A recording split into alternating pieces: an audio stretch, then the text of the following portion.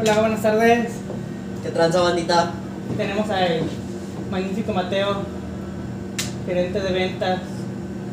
Ah, claro, claro, ya. Este, agente de ventas, gerente no, pero. Quedamos aquí otra vez en el laboratorio de Chavana. Todavía seguimos vivos. Ahora vamos a probar una cheve peligrosa hecha por un alquimista Quique Vázquez con un juego de mi alegría que compraron en internet. No, no, no, espera, vamos a dar contexto. Bueno, esta cerveza nos la proporciona un conocido amigo de aquí de, de donde vivimos, de San Francisco. Un saludo, de nuestro amigo Saludo. Quique Vázquez. Él consiguió un kit para fabricar cerveza en casa, un home brewer. Entonces la consigue, no sé si por Mercado Libre, le llega un equipo bastante casero para fabricar cerveza artesanal en casa. Y el estilo, si no me equivoco, lo que nos contó es un estilo Un blonde. estilo blonde. Y pues aquí está el resultado, nos lo trajo hace una semana, aunque pues no habíamos grabado porque estábamos haciendo otras cosas. Y el chavanita el canal lo tiene algo este, descuidado, descuidado. Pero aquí andamos. Sí, de hecho ahorita ya le modificamos la etiqueta y todo. Sí, ya se puede cambiar la etiqueta, no hay ningún problema. van a reconocer, o sea, tiene esto se lo pegamos aquí, pero ustedes saben qué, qué cerveza es, tal vez, la botella. Pero bueno, Ingenio mexicano. Vamos a probarla. realmente esto es el primer intento de, de- de esta persona, Kike, que nos, nos la facilitó. Tardó, si no me equivoco, tal vez tres meses en completarla. Y un este, lote, ¿verdad? Sacó un lote bastante un lote pequeño. pequeño. pues, es hecho en casa. Y es la primera vez que voy a probar una cerveza tal cual hecha en casa. No sé si Chabanita también sea la primera. Sí, también sería la primera vez, no hemos probado. Vamos a ver qué nos prepara, estoy ansioso ahí de a ver si me quedo ciego o no, tiene mucho alcohol, qué sabor, qué onda. Sí, me come la curiosidad. Pues la verdad no, no. Sabiendo que es hecha en casa, tal vez no esperemos mucho. Tal vez. O nos puede sorprender, no lo sabemos. Es la primera vez que probar. más de lo que quiere. Tal vez está bastante buena y no sabemos. Esperemos. no nos haga daño. Eh, Lo Ah, que vemos es sin, sin filtrar, Semi. se ve semi. semifiltrado. Ay, porque tiene muchos sedimentos, trae está sedimento. chido. Eso ya más sabor. vez- Añadido. En cervecerías artesanales me parece bien, quién sabe, no sé si en caseras esté chido que tenga sedimento, tanto sedimento, pero bueno, este, vamos a ver qué pasa. A ver qué pasa. A ver, pues ah, ya, desde que la destapamos Ya ya tapamos, tiene un fubushi. traigo un bien, bien duro. Ah, espérate, espérate, espérate, espérate. Y el chamanita ya. Bueno, este. mm, a simple vista, pues ya, ya nos dimos cuenta que, que la carbonatación está algo. Este, pues se le sobrepasó. Eh, ahí va, ahí va. Y a la hora de servir, pues también es muy difícil controlar la, la cerveza. Am, Ese como que Fíjate se que- más. De hecho, sí. incluso a la hora de olerla, no huele mal. Yo esperaba, muchas personas a las que he conocido que se han animado a hacer cerveza en casa, ocurre lo de siempre, que se les contamina la, la producción y huele como a, eh, a esa putrefacción, a, a mala, a una fermentación que se dio mal tal vez, que se, pues obviamente el cual se contaminó. Pero esta huele muy rico, huele a una cerveza común ¿Como y cebada? Bueno, bastante como a maltas, más a maltas malta, están cebada. muy, muy, muy, muy presentes. El cuerpo muy turbio con muchos pedacitos ahí de. Tal vez en la de Chavana se aprecia más, en la mía no tanto, es más este, espuma que, Más que espuma. cerveza. En esta, Ahí se controla mejor eso, de hecho. que lo No que sé, veo... fue por magia o no sé si. O porque te la serviste chido a ti y a mí no, pero bueno. Ah, como acá. Ah, mira, pero, pero acá todavía sigue saliendo, ¿eh? Ah, sí, ya sé. A ver, Ta- que bueno, tal vez mí. el cambio de presión en la botella, sí, la Menos que carbonatación. puesto a jugar con la botella, pero bueno. ¿Quién Eso sabe? no me fijé. Entonces, en su espuma parece que está. No, creo que es igual la espuma del, del vaso de Chavana y la mía. Sí. Este, son espumas súper. Espuma muy grande. Bueno, burbuja muy grande. Que, pues, al parecer se. Se disipa muy rápido. Ni tan rápido. O sea, pero. Bueno, se va a generar más genera espuma. mucha, pero a. Se va a generar se genera, tal vez se va. Ya me sirve un poco más. Elegante. Como dice el chabanita, trae sedimento, entonces. No sé si a quitarla porque, pues. Va a ser más espuma, pero bueno. Sí parece como si le hubieran echado un poquito de jabón, un pedo así, no sé. Mm, O es que también de, depende de suerte, que también todas las cervezas artesanales, la mayoría hace eso. Pues sí, no, ¿Qué no hay un pasado? control de calidad este, exacto. Entonces no sabemos cómo va a reaccionar la cerveza a la hora de abrir, de servir.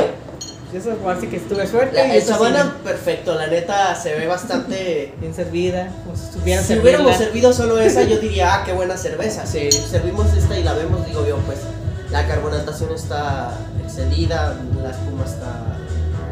Sí, no, no, no- no es la mejor, pero De hecho, se nota de volada lo que es los sedimentos, que sí le. por Bastante. ejemplo, la cam- cambia bastante el de Chavana con el mío. O Se sea, esta es un claro, esta ya está turbiesísima. Turbia, bien turbia. A ver, voy a servir un poco más igual para que quede. Y ya decíamos que el olor está bastante.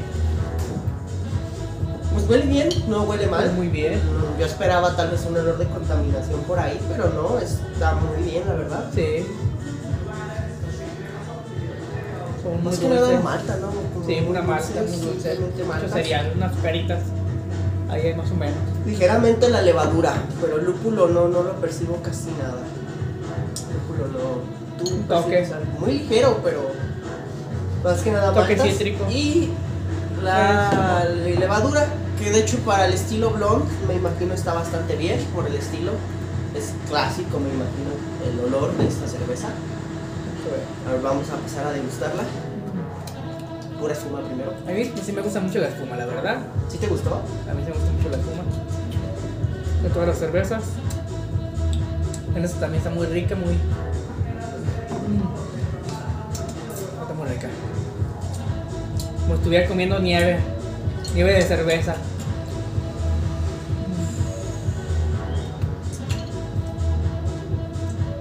Ligerita. No molesta la lengua ni nada, no te quema. Como que pasa con el refresco que te quema la lengua y el momento del gas. Esta no, no te molesta, está muy ligerita, suavecita. ¿Sabes qué? Está muy dulce. O sea, está, está ligera, está rica. Rica, Sabe está muy dulce dulce. por las maltas, como a La mielecita, no sé. Un toque así, incluso como a piña. Es por el lúpulo, la piña. De hecho, tal vez sea el lúpulo, sí que tenga los toques ahí Sí, es- tal. Aunque creo yo que la piña más bien es por el sabor de la levadura. El sabor como a piña. Sabe también. un tanto como a Está rica, la entrada en boca es dulce, como tal cual como si probaras un pan líquido. Aunque no sé si a ti te pasa que el retrogusto es muy marcada la levadura, bastante. Sí, El retrogusto está está amarguita, así un como poco. sabor, así como. Fíjate, como si como fuera como lamer cobre. En lo personal siento como cuando te tomas una cerveza un tanto oxidada, ligeramente, muy muy ligeramente oxidada. Ándale, como a metal. Tal vez Bueno. eso sea una impureza a la hora de la fabricación, no, no, no estoy seguro. No sé, pues, Pero tal bien. vez, imagino yo que el retrogusto es más que nada por la levadura. La Sí. receta no se siente que esté muy equilibrada porque se siente... Lúpulo y de sabor de alcohol.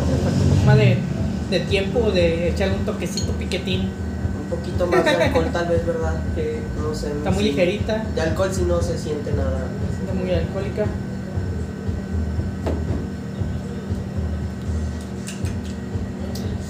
Diré que tiene como. Está ligera. He probado blondes artesanales que la verdad me han gustado menos que esto. que, que le calculas un 4 o 3.5 de alcohol. Tal vez sí un 3.5. Se siente Cinco. muy muy ligera de alcohol, no es nada... pues, la Pero verdad, se siente. no- no- está muy ligera el alcohol, la verdad. No, no. momento de querer repetirla o algo, que te da, si te sientes así la nota alcohólica.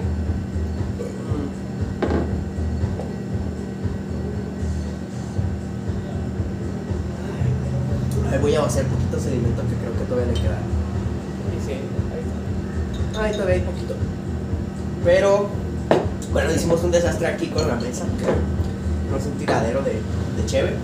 La limpiamos. Así pasan, Pero, se pasan. pues se sí, superó mis expectativas como cerveza hecha en casa. Yo creía que, que no iba a estar rica, la verdad, pero está muy buena. O sea, para tener en cuenta que es una cerveza hecha en casa. pasan. Checas así con. um, No sé cómo le he hecho con una olla tamalera o algo así. Con, Yo creo que Que lo sí, más eh, recomendado. porque algo así me había comentado el, este, el fabricante de esta cerveza, que hasta la fecha pues no, ni siquiera tiene nombre, o sea, fue un, un mero experimento de, de él, un hobby en su casa, tal Sí. cual, tenía ganas de hacerlo y lo hizo.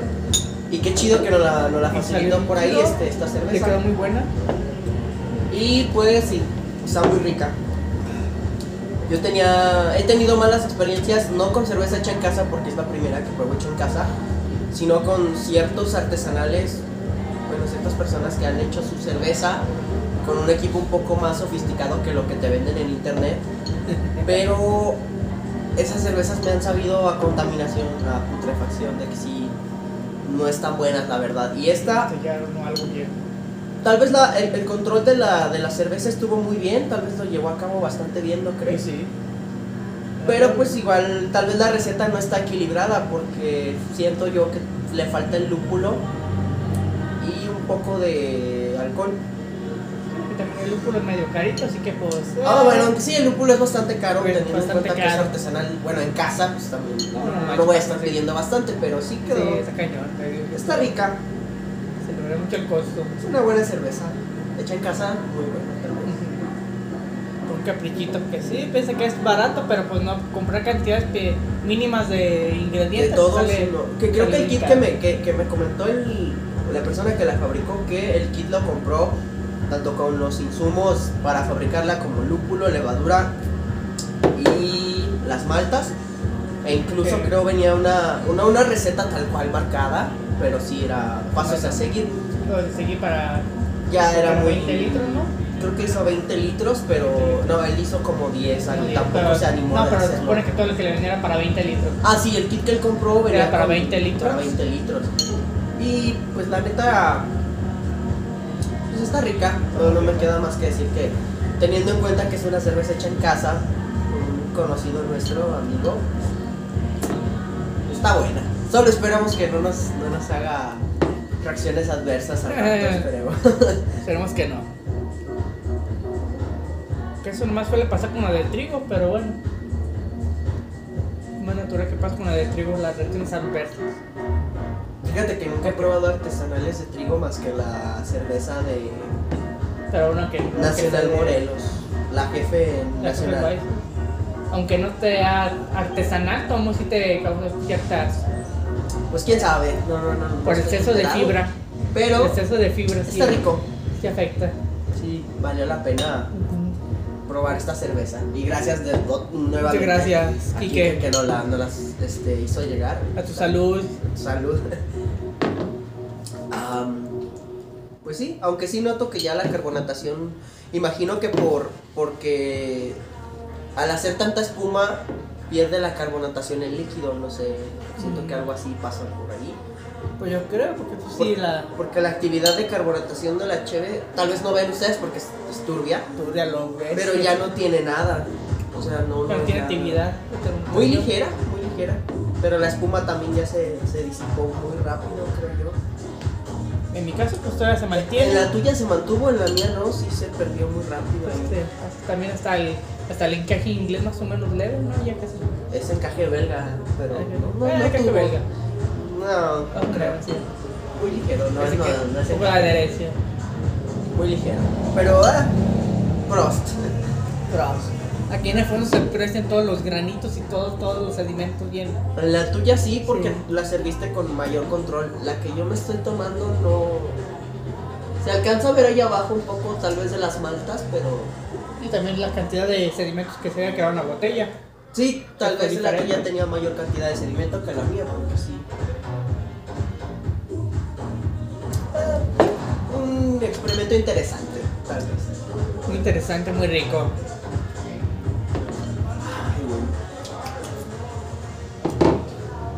Ya saben, suscríbanse al canal, saludos. Aquí también. Ahí denle like al canal de like. Chavalita que ya está por alcanzar las horas de reproducción necesarias para darle ya a su. Ahí canal. vamos, ahí vamos. Y pues también exíjanle que, que, que que le siga echando ganas a su canal, que no nada más No. nos deje ahí abandonados un ratote. Exíjanle muchachos. He abierto ideas y sugerencias también. Para más experimentos. Y pues que ya le damos el mate, el fondo. Sí, fondo. Sale. Pro. Prost.